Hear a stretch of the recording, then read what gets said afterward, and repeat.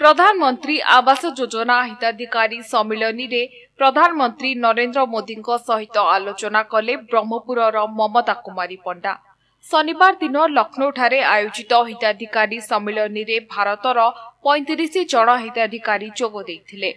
ଏହି ଅବସରରେ ପ୍ରଧାନମନ୍ତ୍ରୀ ନରେନ୍ଦ୍ର ମୋଦି ପ୍ରଧାନମନ୍ତ୍ରୀ ଆବାସ ଯୋଜନା ସମ୍ପର୍କରେ ସିଧାସଳଖ ମମତା ସହିତ କଥାବାର୍ତ୍ତା ହୋଇଥିଲେ।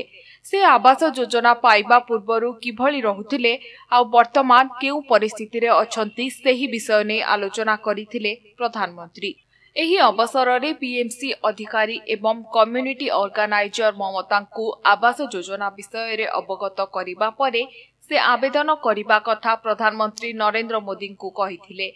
ବ୍ରହ୍ମପୁର ମହାନଗର ନିଗମ ଏକ ନମ୍ବର ୱାର୍ଡ ଅନ୍ତର୍ଗତ ହରିଡାଖଣ୍ଡି ଶାନ୍ତିନଗରରେ ରହୁଥିବା ମମତା କୁମାରୀ ପଣ୍ଡା ପ୍ରଧାନମନ୍ତ୍ରୀଙ୍କ ସହିତ ଆଲୋଚନା କରିବା ପରେ ନିଜକୁ ଧନ୍ୟ ମନେ କରିଛନ୍ତି।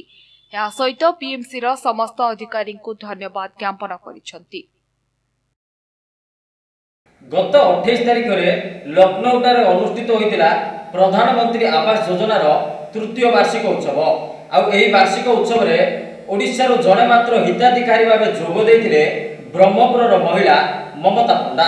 ଆଉ ଆମ ସହିତ ଆଜି ଅଛନ୍ତି ସିଧାସଳଖ ମମତା ପଣ୍ଡା ଅଛନ୍ତି ତାଙ୍କୁ ପଚାରି ନେବା କେମିତି ରହିଥିଲା ସିଧାସଳଖ ସେ ପ୍ରଧାନମନ୍ତ୍ରୀଙ୍କୁ ଭେଟିଥିଲେ ମ୍ୟାଡ଼ାମ କ'ଣ କହିବେ ଆପଣ ସିଧାସଳଖ ପ୍ରଧାନମନ୍ତ୍ରୀଙ୍କୁ ଭେଟିଥିଲେ କେମିତି କ'ଣ ଭେଟିଥିଲି ପ୍ରଧାନମନ୍ତ୍ରୀ ଆମର ମ୍ୟୁନିସିପାଲିଟିର ସବୁ ସାର୍ ମ୍ୟାଡ଼ାମର ସହଯୋଗରେ ମୁଁ ଗୁରୁବାର ଦିନ ବାହାରିଲି।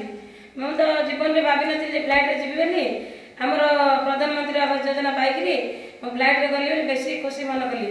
ଫ୍ଲାଇଟ୍ରେ ଯାଇ ହାଇଦ୍ରାବାଦରେ ପହଞ୍ଚିଲି ସେଇଠୁ ଲକ୍ଷ୍ନୌ ଗଲୁ। ସେଇଠି ବହୁତ ବଢ଼ିଆ ଜାଗା ହୋଟେଲ ସବୁ ଆମ ପାଇଁ ଆରେଞ୍ଜମେଣ୍ଟ କରିଥିଲେ।